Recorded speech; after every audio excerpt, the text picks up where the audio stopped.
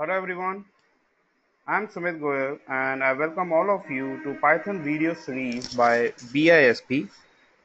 Recently, I came across a requirement from one of my clients that uh, they want to integrate Python script with .NET. And I found this an interesting and information topic. Therefore I decided to share the same with all of you so in this video, I will be going to tell you that how can we integrate Python with .NET and execute Python script directly from within .NET application either by using command line code or by using Windows application. So in order to integrate Python in with .NET is we need to have a library and that library we call as a Python tool. So the tool which will help to integrate Python with .NET is Python VI tool. So let's look at the tool. That's the tool Python PTVS. It's a Visual Studio 2012. So it's a Python tool 2.1.1 for Visual Studio 2012. You can get the link of this tool to download on your system from the URL given below within this uh, in this video. So because I have already configured it, so I'm, I'm going to cancel it. I have already installed this tool. I have already set up this tool. So once you're done with this tool, we need to start our Visual Studio. So I start my Visual Studio and in that Visual Studio, we'll be going to use this tool. So I click on new project and I'm going to create a new console application so as I've told you that Python can be integrated or Python we can use Python integration tool both for console application as well as for desktop application. So in this case I'm going for console application. So I select console application, choose the location. We can give a name to this or simply click on OK. So it will create a new console application in the environment after that, we need to add the reference because as you can see here, we, we don't have any reference to integrate with Python or to execute the Python code from within this .NET. So I right click on reference, manage NuGet packages, and here I write Python tools. Python tool. You need to search for this Python tool. So you can see here it will list Python tools as well as Iron Python. So I'm going to include both the libraries. First, I'll install the 64-bit Python for used and build scenarios or and also I'm going to set up, I, I'm going to install Iron Python or add a reference. So first I add Iron Python as a reference. So you can see it, it has been, it added the Iron Python, Iron Python dot module. So these are the references which has been added in the current project and also I'm going to install Python for 64-bit for use in build scenarios. So once all the references has been added, I click on close. So we can make sure that all the references has been added in our under reference directory. So these are the references I was talking about. We have got Iron Python and these are the references which would be requiring for this project. So the very first thing I'm going to do is I, I write here, I add the reference using ironpython dot hosting. So that's the library or the reference library I have been added. Now in main function, first I'm going to get the input from user console dot write line and uh, please enter a string which you would like to print from Python. And console create a variable where input is equal to console dot read line console dot read line then I create a new instance of for Python for Python engine. So py is equal to Python dot create engine. So we are creating an engine basically. so that we can interact with the uh, we, we can use all the functions and the very properties or the behaviors of Python. We can include them or integrate it with our current solution. So create engine. Then I start a try and a catch block. So just in case if anything goes wrong, so it would be able to handle that exception. So catch exception. And console dot write line ex dot message dot to string. Message dot to string.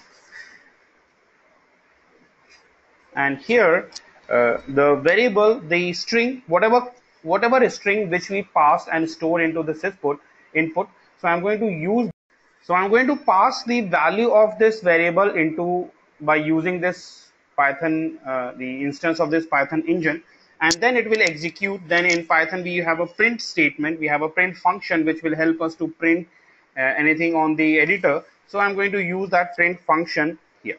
So I write py dot execute and use this print statement.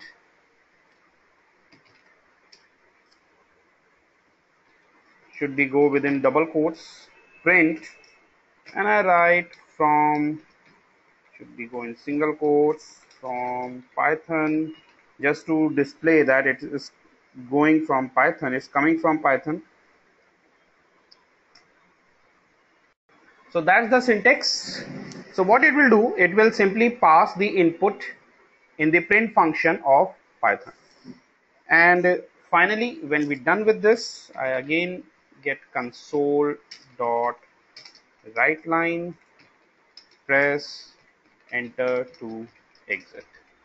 And console dot read line let's test this code.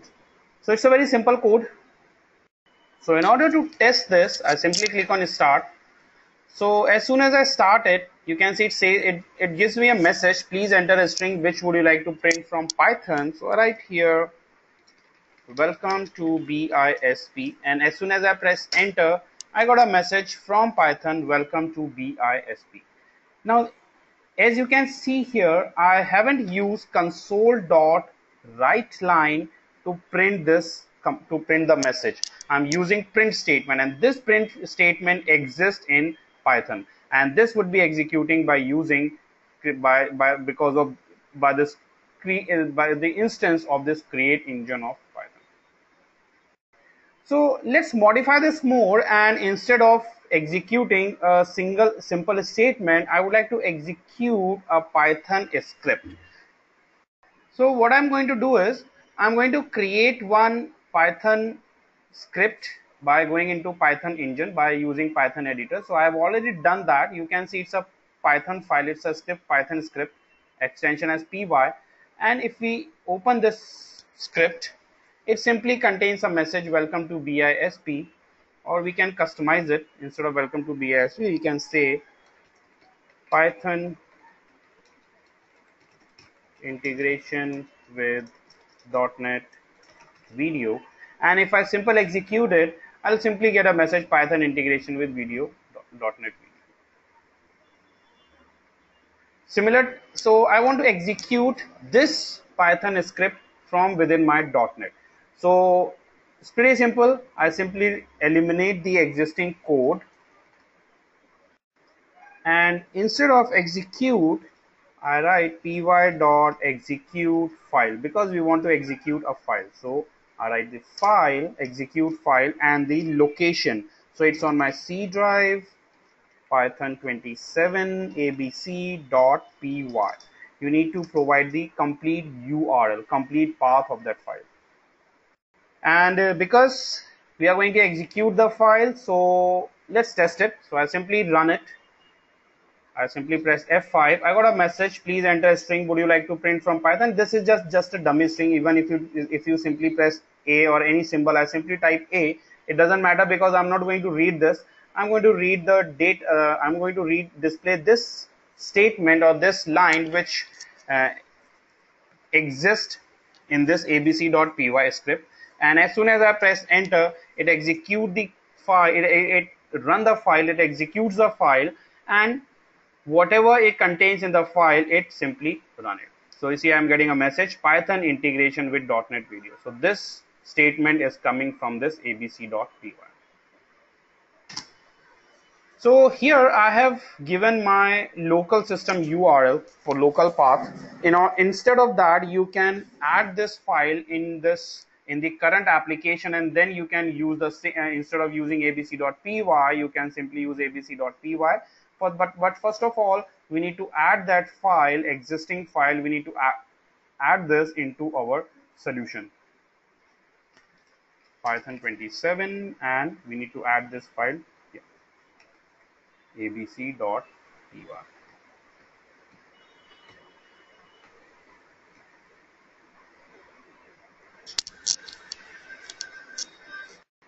So I add this file. here. So we can add the file in our current application as well. And then we can add it. Or instead of this, we can simply give any URL as well. For example, if your app, if your script resides on a location on a server, so you can give your server URL as well. So that's how we can integrate Python with .NET and we can execute the commands, execute the statements from the uh, by using Python, Python functions and modules. So that's all in this video. I hope you found this video interesting and helpful. If that's so, please don't forget to subscribe our YouTube channel and don't forget to press like button if you have any queries, you can write to us on www.bisptrainings.com. Keep watching. Have a nice day. Goodbye.